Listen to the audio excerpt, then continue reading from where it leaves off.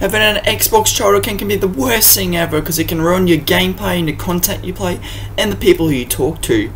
What's up guys, welcome back to the channel. Today I'll be showing you how to change your child account to an adult account with a simple step-by-step -step guide. Make sure you like, subscribe and turn that notification bell on so you never miss a video. Now let's get into the video. Obviously the first step you want to do guys is press the home button on your Xbox controller, head all the way over to settings, then you want to head down to privacy and online safety in account selection. Obviously, you'll probably come up with passkey or passcode. Click on Xbox privacy. Then obviously, I'll bring up to you this menu with an adult, teen, or child account. When it's on child account, use menu to make sure you click on adult account. This will allow you to play any content, talk to anybody on Xbox, and won't really restrict it at all.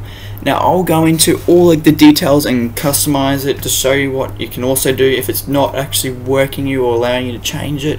So you can go into these stuff and change all your preferences that's already on here. It's pretty easy just to change it all.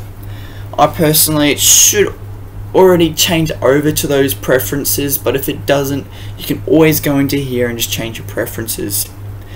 Now obviously guys if it doesn't work, you obviously have to log into your Microsoft account on a computer or on the Xbox just using this like the Bing on your Xbox just to sign into it because sometimes it might not work on here but if your parents or yourself set it up on the Xbox then you should be able to easily just change it on your Xbox. And it's just pretty simple to do with a step-by-step -step guide. And as you can see that's pretty much it for today's video guys. Hope you enjoyed today's video. Make sure you like subscribe and turn that notification bell on so you never miss a video.